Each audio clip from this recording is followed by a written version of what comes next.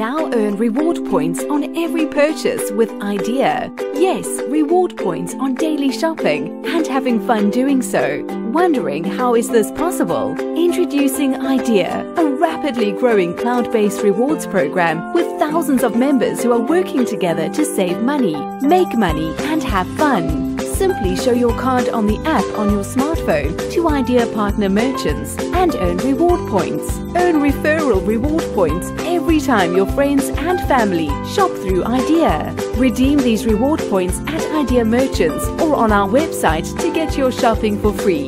And if your favorite store is not part of the IDEA Rewards program, simply invite them to be a part of the IDEA Rewards program and benefit with even more points and cash.